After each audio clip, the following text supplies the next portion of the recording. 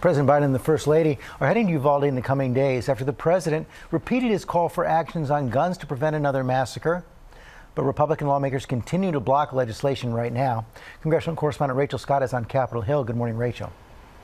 George, good morning. Gun control legislation has been stalled on Capitol Hill for nearly 30 years. The majority of Americans want some kind of action. The president is calling on lawmakers to have a backbone, but many Republicans are not budging.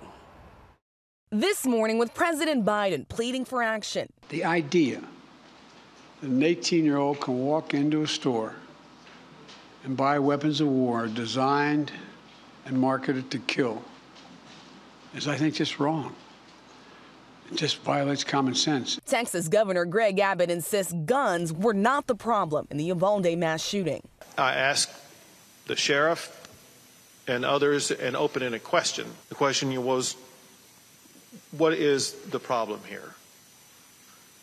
And they were straightforward and emphatic. They said, we have a mental, we, we have a problem with mental health illness in this community. But interrupting Abbott's press conference, former Democratic Congressman Beto O'Rourke, running for governor himself. shooting is right now, and you're doing nothing. O'Rourke escorted out. This is on you until you choose to do something different. Texas recently loosening restrictions on purchasing and carrying guns. Democrats in Washington calling for federal reform. We've had school shootings this year, dozens of them. What does it take? But getting Republicans on board will be an uphill challenge. Can you assure the American people that this time something will get done? I can't assure the American people there's any law we can pass to stop this shooting. Polls show that the American people want change. 86% support a red flag law allowing authorities to temporarily take guns away from people determined to be dangerous. 89% support background checks. We asked Republicans what they would back. Do you, do you support expanded background yeah, checks? The, the majority of Americans support background checks. Do you support it? Senate Democrats can change the rules to pass gun reform legislation without Republicans, but some say that's a non starter. Senator Sinema, do you support changing the Senate Sorry, rules guys, in order to pass gun control legislation? 19 children are dead. Thanks so much. Can you give us a comment about it?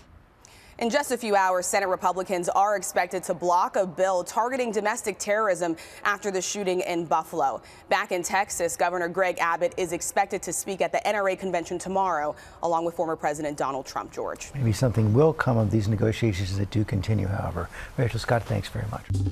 Well, hey there, GMA fans. Robin Roberts here. Thanks for checking out our YouTube channel. Lots of great stuff here. So go on, click the subscribe button right over right over here to get more of awesome videos and content from GMA every day, anytime. We thank you for watching, and we'll see you in the morning on GMA.